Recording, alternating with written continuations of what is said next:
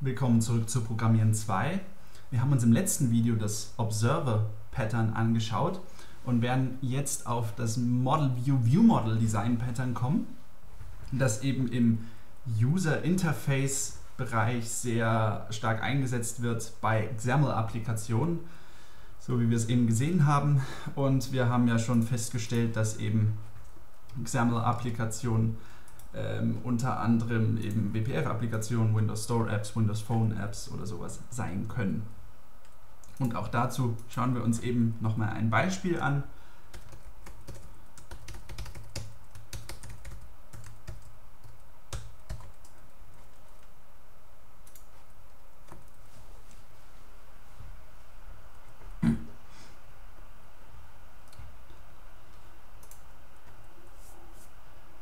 Ähm, wie muss man sich jetzt MVVM vorstellen?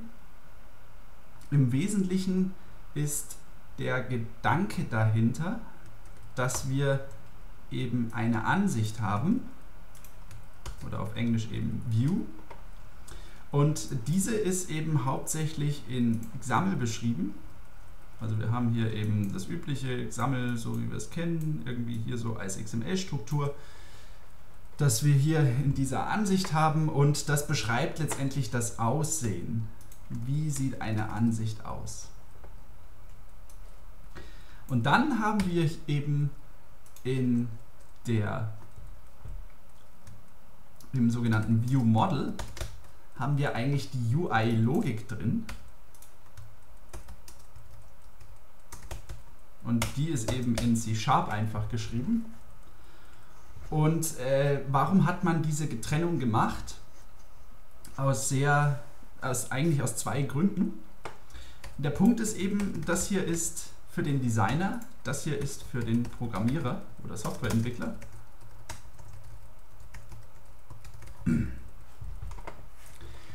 Der Designer soll sich eben darum kümmern, dass eine Ansicht schön aussieht, dass sie äh, auf den Nutzer entspannt wirkt, dass der Nutzer sofort alle Sachen findet, die er in dieser Ansicht gerade äh, eben ausführen möchte. Und äh, es ist eben ganz allgemein gesagt der, der, das Look and Feel von einer Ansicht, ne? definiert das Aussehen. So ein Designer, der arbeitet eben mit Tools wie beispielsweise Blend oder vielleicht benutzt er auch den Visual Studio Designer, so den wir bis jetzt äh, benutzt haben, aber wahrscheinlich eben eher andere Tools, mit denen er eben über eine GUI eine GUI erstellen kann, sozusagen. Also äh, Photoshop oder InDesign-like. Ne? Ich glaube, diese beiden Programme können auch XAML exportieren, wobei das, glaube ich, nicht das beste XAML ist, was es gibt. Anyway, ähm, wir als Programmierer, wir haben für Aussehen und so, also das ist A gar nicht mal so einfach und B haben wir als traditionelle Byteschubser damit eher Probleme, dass wir eben Ansichten, die gut aussehen und funktional sind für den Nutzer, dass wir die relativ leicht aufbauen. Was wir aber gut können, ist eben C-Sharp-Code schreiben und äh, Logik implementieren und lose gekoppelte Systeme aufbauen, die flexibel sind und so weiter. Ja? Das ist unsere Aufgabe als Programmierer oder, oder wenn es auch sein muss, richtig harte Algorithmen äh, programmieren, damit unsere Applikationen schnell sind. Ähm, der Punkt ist eben, das View-Model macht der Softwareentwickler, Aussehen macht der Designer eben auch mit anderen Tools teilweise. Und äh, Punkt 2 ist, wir können hier Unit testen. Ohne UI-Thread. Wir haben hier, wenn wir eine Ansicht erstellen, eben immer den Punkt, dass wir äh, hier in, uns in die WPF-Vererbungshierarchie mit reinbegeben müssen, damit wir eben am WPF-Layout-Prozess teilnehmen können und beim Rendern uns äh, Eingabe-Events von Tastatur über Maus, Stylus und Touch und so weiter, was es da alles gibt. Das wird eben hier letztendlich alles mit angefasst. Wir haben ja die Vererbungshierarchie von WPF gesehen und wenn wir eben ein User Control oder ein Window äh, erstellen, dann fügen wir uns einfach in diese Vererbungshierarchie ein und dann sollte dieses Objekt eben auch auf einem UI-Thread erstellt werden. Das ist beim ViewModel nicht der Fall. Dieses ViewModel ist wirklich eine ganz normale Klasse, die sich zwar an ein paar Konventionen hält, aber ansonsten vollkommen unabhängig ist von diesen ganzen WPF-Sachen, die ich gerade aufgezählt habe und die eben für Testfälle dann logischerweise auch keinen UI-Thread braucht, damit diese, dieses Control tatsächlich unter den Umständen funktioniert, in denen es letztendlich auch ausgeliefert wird. Und das ist eben ein super Faktor für Unit-Testing, weil äh, dadurch werden die Tests viel schneller. Wir müssen nicht pro Test eben einen UI-Thread mit der Nachrichtenschleife und so weiter erstellen, äh, der dann eben wirklich da ist, um bloß, was weiß ich, eine Methode auf unserer Klasse aufzurufen, zu überprüfen, ob das Ganze passt, wie es ist und dann diesen UI-Thread wieder zu beenden. Ja, das ist nicht so der Punkt, der wichtig ist. Und da wir das eben beim View-Model View komplett weglassen können, ist diese Klasse deutlich besser geeignet für Unit-Testing als solche Views oder also Windows oder User Controls im Normalfall, die sich eben hier direkt in die hier in, in, auf den UI-Thread mit einreihen, wenn sie eben erstellt werden. Ja, und wie wird jetzt hier die, die Daten von ViewModel und View verknüpft? Im Üblichen sind das eben hauptsächlich Properties. Das heißt, wenn unser ViewModel eben eine Person darstellt, dann wäre hier sowas wie Vorname und Nachname und so weiter. Und ähm, ja, das sehen wir dann eben noch weiter. Und dann haben wir eben hier entsprechende Controls, beispielsweise eben Textboxen, die jetzt sich einfach über WPF Data Binding hier an die entsprechenden Eigenschaften des View Models haften. Also das hier ist alles Data Binding, soweit wie möglich. Und hier oben haben wir eben eine, der, der Punkt, wie kennt denn eigentlich die, unsere View das View Model, wenn wir hier eine Abhängigkeit in diese Richtung haben. Äh, das ist ganz einfach. Es gibt auf jedem Element, was vom Framework Element ableitet, in WPF meines Erachtens eine sogenannte Eigenschaft Data Context. Und wenn wir hier sozusagen auf dem Window den Data Context setzen, ähm, dann wird dieser Data Context eben einfach an alle Elemente in diesem Baum, diesen Darstellungsbaum hier weiter nach unten vergeben. Ähm, man spricht hier tatsächlich von weiter vererben, obwohl das mit Vererbung bei Klassen gar nichts zu tun hat. Das heißt einfach bloß, wenn das Window den Data-Kontext gesetzt hat, dann gibt das Window diesen an sein internes Grid weiter, dieser wiederum an die Textboxen und eben alle Kinder, die das hat, außer irgendein Kind definiert selber einen Data-Kontext. Ja? Aber prinzipiell wird dieser Wert im Data-Kontext einfach weitervergeben. Und genau das ist eben, wie jetzt äh, das View-Model, das war eigentlich schon die richtige Richtung, äh, beim Window gesetzt wird. Letztendlich wiederum über äh, Dependency Injection. Genauer gesagt über Property Injection in diesem Fall, weil einfach die Data Context Property von einem beliebigen Element hier mit dem View Model gesetzt wird. Und mehr brauchen wir dazu auch nicht wissen. Ja, dann schauen wir uns mal ein paar Beispiele an. Wir haben hier ja ein Main Window und ich mache jetzt tatsächlich einfach mal ein View Model dazu.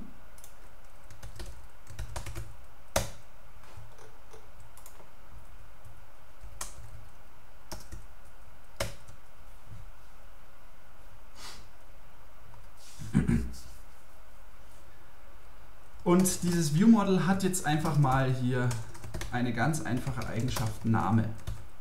Get und Set. Wir sehen hier, wir leiten nicht von irgendwelchen WPF-Klassen ab, das ist wichtig.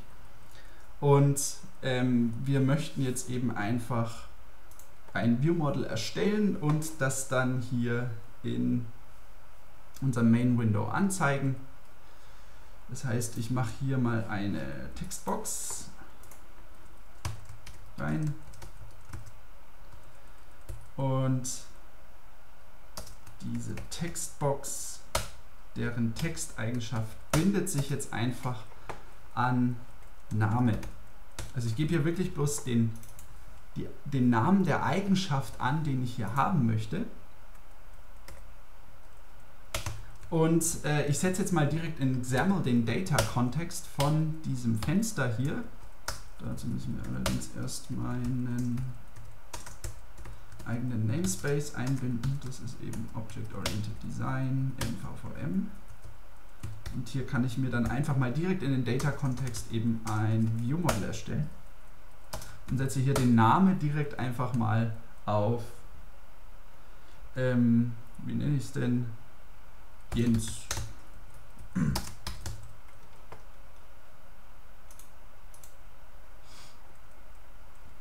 So, und das hat jetzt, glaube ich, nicht ganz funktioniert, wie er das hier macht.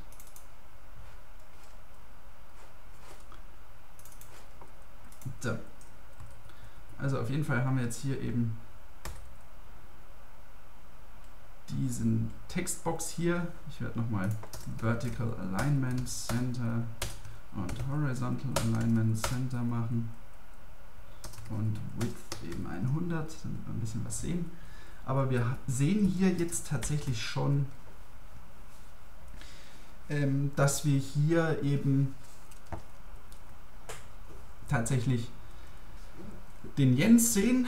Warum? Weil wir eben hier ein View-Model-Objekt in den Data-Kontext gesetzt haben des Windows und wir binden uns tatsächlich jetzt einfach hier an Name.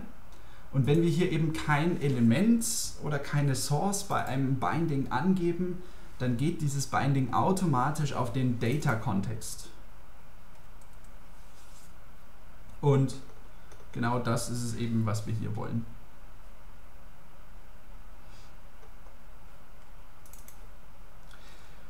Gut, und wir können dann natürlich auch noch einen Button hinzufügen. Den setzen wir jetzt einfach mal kurz drunter.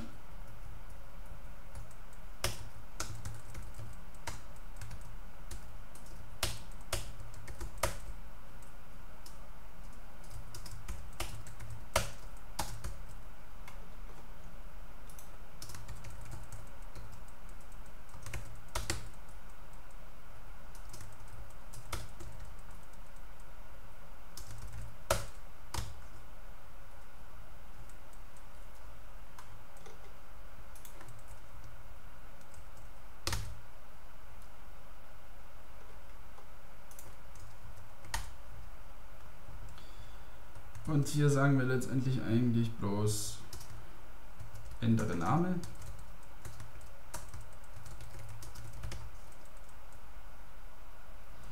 So, und was wir jetzt hier machen ist, ich ta erstelle tatsächlich mal ein Click-Event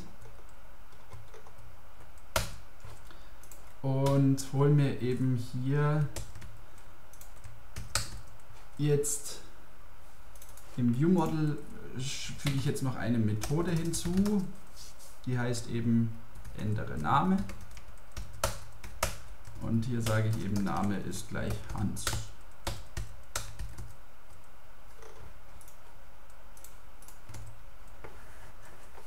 Okay. Dann kann ich mir jetzt eben direkt aus dem Data-Kontext jetzt mein View-Model holen. Das heißt, ich sage einfach View-Model vom Data-Kontext, mache hier nochmal außenrum Klammern zu und rufe dann tatsächlich ändere Name hier einfach drauf auf. Und eigentlich sollte das ja jetzt so gehen. Und wir gucken jetzt mal an, was hier tatsächlich passiert. Ich setze hier einen Breakpoint rein und führe mal die Applikation aus. Wir haben hier eben tatsächlich Jens stehen und ich rufe jetzt hier ändere Namen auf. Wir landen in dieser Methode. Wenn ich jetzt F11 drücke, bin ich tatsächlich hier im View-Model letztendlich angelangt und setze jetzt den Namen auf Hans. Und wir können hier eben auch genauer sehen, dass sich hier tatsächlich jetzt Hans drin befindet und nicht mehr der Jens wie vorher.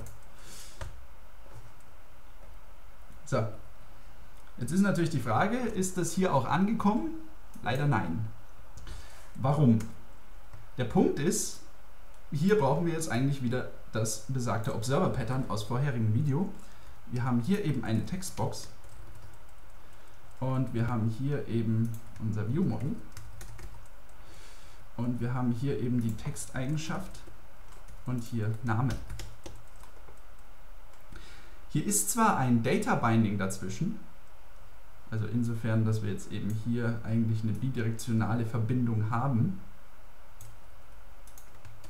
Hier haben wir jetzt natürlich ein Data Binding. Aber ähm, wie soll denn bitte das Binding reagieren, wenn ich hier den Namen setze? Ja, der, der Punkt ist wiederum, wie beim Observer Pattern aus dem vorherigen Video auch schon beschrieben, wir brauchen hier einen Benachrichtigungsmechanismus. Erst wenn unser View-Model sozusagen sagt, hey, der Name hat sich geändert, dann kann sich auch die Textbox updaten. Also wirklich ganz normal, wir haben, wie im vorherigen Video erklärt, wenn sich eben beim Observable ein Wert ändert, dann muss er das mitteilen über einen allgemeinen Benachrichtigungsmechanismus, sodass das Binding merkt, ah okay, hier hat sich im View-Model was geändert und ich muss jetzt diesen Text hier links updaten von der Textbox. Und deswegen hat es auch hier jetzt noch nicht geklappt. Aber wir schließen jetzt mal diese Applikation und implementieren jetzt eben das Observable Pattern, das für WPF und die ganzen anderen XAML-Sachen üblich ist. Und das ist eben ein Notify Property Changed heißt dieses Interface.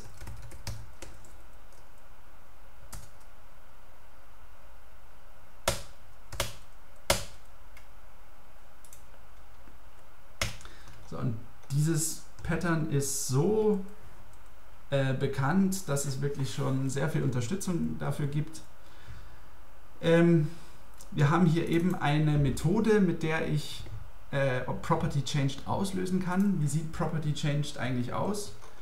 Dieses Interface definiert bloß ein Event, äh, in dem eben mitgegeben wird über diese Property Changed Event Arcs, welche Eigenschaft sich vom Source-Objekt, also von unserem View-Model, sich geändert hat. Also hier müssen wir sozusagen, wenn wir den Namen ändern, den Namen angeben.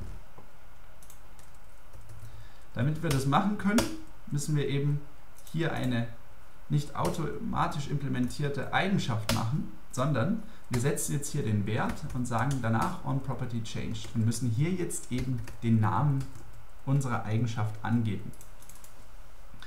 Man sieht hier jetzt aber schon, dass diese Angabe hier eigentlich nicht notwendig ist.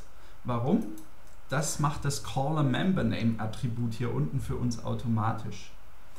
Wir können diese Angabe, diese Strings hier weglassen, denn wenn dieses Attribut hier gesetzt ist bei der Funktion, die wir hier aufrufen, dann holt er sich automatisch den Namen der Eigenschaft, von dem wir hier diese onPropertyChanged-Methode aufrufen.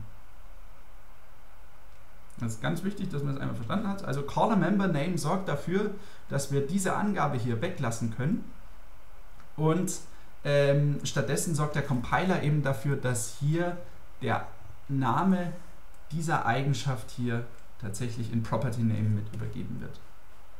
Das heißt, ich kann das wiederum wegnehmen und bin jetzt eben hier mit meinem View Model fertig und ähm, wir können jetzt die Applikation nochmal ausführen und ich gehe hier wiederum auf ändere Namen. Ich muss gucken, ja, ich habe noch einen Breakpoint. Wir landen jetzt wiederum hier und wir weisen jetzt eben einen neuen Namen zu. Na, jetzt bin ich leider gerade drüber gegangen. Also nochmal zurück und wir springen jetzt mal tatsächlich hier in diese Set-Methode rein. Wir setzen jetzt tatsächlich den Feldwert und rufen on Property Changed auf. Das heißt, wir sind jetzt hier und der String Property Name ist eben Name und geben jetzt über diesen Benachrichtigungsmechanismus das an das Data Binding, wie gerade eben gezeigt, weiter. Ja, also hier wird dieser Event ausgelöst wie wir sehen, wir landen, wenn wir hier weitergehen würden, eben in den Tiefen von des WPF-Frameworks, wenn ein Binding eben aktualisiert wird. Aber dieser Aufruf ist schon vorbei. Und wir sehen jetzt hier eben tatsächlich, dass hier tatsächlich Hans drin steht und nicht mehr Jens, so wie vorher. Warum? Das ist ganz einfach wiederum eine Abwandlung des Observer Patterns, in diesem Fall mit iNotifyPropertyChanged. Das ist eben ein Interface, das in .NET äh, vor allen Dingen im UI-Bereich genutzt wird, um eben mitzuteilen, hey, bei einem Objekt hat sich ein Wert verändert. Bitte ähm, löse doch mal oder aktualisiere mal die entsprechenden Controls, die an diesen Wert gebunden sind. Genau. Das ist eins. Ähm, auf eine Sache möchte ich noch eingehen. Wir hatten hier natürlich auch den Punkt, dass wir hier eine, äh, eine, einen Event-Händler gemacht haben und hier auf dem Data-Kontext zugegriffen haben und hier eben ändere Name dafür aufgerufen haben.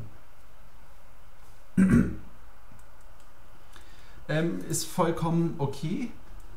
Interessant ist es aber, wenn man hier versucht, das wegzunehmen, damit in der Code-Behind-Datei für ein Fenster oder ein User-Control wirklich eigentlich bloß der Konstruktor drin ist, wo einmal Initialize Component aufgerufen wird.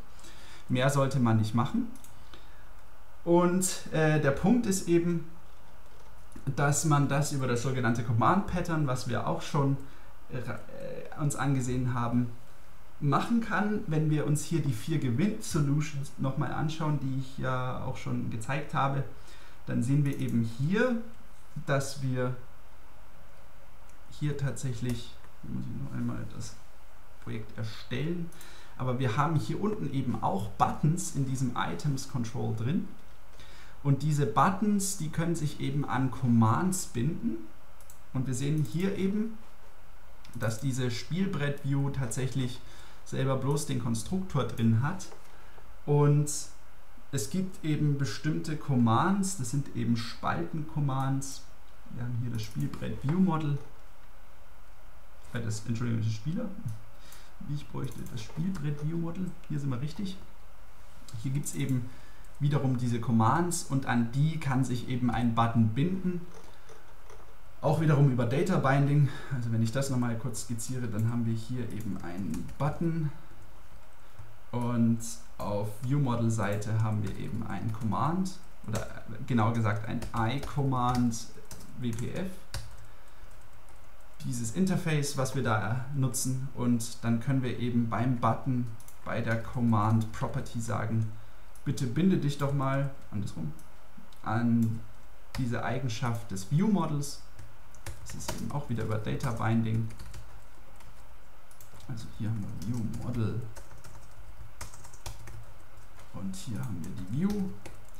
Und genau so können wir es eben hinbekommen, dass unsere Buttons Methoden auf dem View Model aufrufen, ohne dass wir letztendlich hier in der View Code Behind Datei einen Event-Händler machen müssen, uns das View Model holen und dann die entsprechende Methode eben auf diesen aufrufen. Wobei es ehrlich gesagt auch nicht schlimm wäre. Es ist halt eben wichtig, dass äh, in diesen Event-Händlers in der Code Behind Datei eigentlich bloß äh, Aufrufe ans View Model weitergeleitet werden. Dann hat man eben nicht bloß Datenbindung zwischen View und View Model, aber wichtig ist ganz einfach, äh, dass das sehr kurzer Code ist, den vielleicht auch noch ein Designer hinbekommt, ohne weitere Schwierigkeiten und die eigentliche UI-Logik steckt dann aber trotzdem hier im View-Model drin. Also diese View-Models sind dann wesentlich komplexer als die, die wir eben schon kennen. Wir können ja hier zum Beispiel mal die Commands anschauen. Wir hatten ja hier ein Spalte-Command. So. Wir haben hier eben dann diese Can-Execute-Methode, das heißt ein Button, der deaktiviert sich ja, wenn eben eine Spalte voll ist. Das wäre dann eben sowas, was hier mit drin ist. Und ähm, im Prinzip sehen wir dann hier eben, dass die komplette Logik, wie sich eben dieser Button verhält, dann tatsächlich in diesem Command implementiert ist. Also quasi auf View-Model-Seite und nicht in der View selbst. Und das sorgt eben dafür, dass jetzt tatsächlich eben ein Designer sagen kann, okay, ich habe hier jetzt eben Beispieldaten. Das äh, sieht man hier in Sample Data. Das sind einfach zu den Interfaces für die View Models. Also man sieht hier eben, ich habe Interfaces für die einzelnen View Models gebaut und äh, dann habe ich Beispieldaten dazu einfach in hart gekoppelt hier in solche Sample Data Classes mit reingebracht. Also ich habe hier zum Beispiel jetzt mal hier wiederum einen Spieler äh, View Model, da habe ich gesagt, der heißt halt Spieler A und hat diese Farbe. Und hier haben wir eben ein Spielbrett, das eben die unteren beiden ähm, hier sind wir. Hoffentlich. Nein, das war falsch. Hier wollen wir hin. Hier sieht man eben, dass, hier sieht man eben, dass wir ein Beispiel-View-Model machen können, wo wir eben wie gewohnt diese 6 auf 7 äh, Plätze haben. Und die untersten beiden Reihen sind jetzt hier eben mal ganz einfach gefüllt, damit wir schon mal ein grobes Feeling beim Design in Visual Studio bekommen. Wie sieht es denn letztendlich aus, wenn wir die Applikation laufen lassen? Und ähm, so kann man natürlich auch, wenn wir uns mal das Main Window anschauen, was man hier sieht, sind einfach bloß drei geschachtelte View Models. Äh, ich muss mal Fit to All machen. Was wir hier sehen, ist eben ein Spieler-View-Model auf der linken Seite, ein Spieler-View-Model auf der rechten Seite und hier eben das Spielbrett-View-Model in der Mitte. Und wenn wir uns dieses Main-Window-View-Model nochmal anschauen, dann sehen wir einfach auch, dass wir einfach diese View Models kapseln können und dann über Items Controls oder Contents Controls beliebig darstellen können, über Data Templates. Und äh, hier das Main Window View Model ist tatsächlich bloß mit Spielezug hier implementiert und ansonsten ist die andere Logik, wie man eben einen Spielstein setzt und so weiter. Das ist oder hier wie die ähm, Anzahl der Spielsteine für jeden Spieler eben aktualisiert wird. Das ist in den einzelnen View Models tatsächlich implementiert. Wenn man das hier so weitermacht. Und dann hat der Spieler A eben gewonnen. Ja. Aber es ist dann eben durchaus üblich, dass man diese View Models auch wiederum aufbricht und dann über Komposition wieder zusammensetzt.